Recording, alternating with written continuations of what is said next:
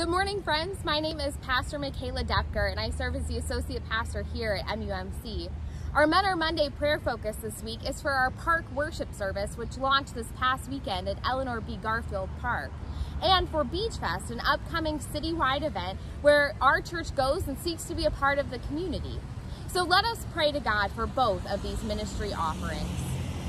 Almighty God, we give you thanks for the opportunity to be in ministry with your people. We thank you for your call on our lives. We thank you for your presence in our midst.